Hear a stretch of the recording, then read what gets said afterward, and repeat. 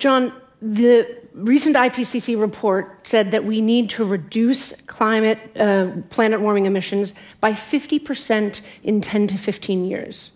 Um, to hold steady at two degrees of warming, um, which is a staggering challenge. Can we meet this challenge? Uh, and we'll get into the how after the can we. I, that, that is the question. Uh, I want to do a little bit of, I'm, I'm an engineer from Rice University. I want to do a little Rice math with you for a second. If we have to reduce, as the IPC says, net greenhouse gas emissions by 50% between now and 2030, maybe 2035, but let's just say 10 years, in order to have a 50 50 chance of living in a world with a 1.5 degrees centigrade increase in temperature, which is a huge change, that means every year we've got to reduce net emissions by 6%. 6% next year in 2020, 6 more percent in 2021 to get a 50% reduction. I want to tell you, we have never reduced greenhouse gas emissions on our planet, ever.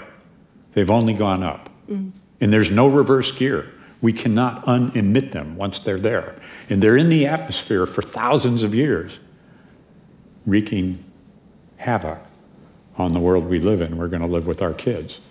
So the engineer in me says, no, we're screwed. The optimist in me says, we've got exactly as much time as we need, mm-hmm. no more, to solve this problem, because it's fundamentally a problem of speed and scale, scale and speed, speed and scale. We've got to take every element of our energy infrastructure and system and reimagine and recreate it so that we have zero net carbon emissions by 2050. How many think that we can cut greenhouse gas emissions by 50% in 10 years? How many think we can't? That's the challenge of our generation. There's two tracks to be pursued. One of them is for 2030 and beyond where we get to net zero emissions. That means we've got to make steel without using carbon. We've got to make concrete without using carbon. We've got to grow crops without emitting carbon. And in fact, we've got to pull carbon back out of the atmosphere.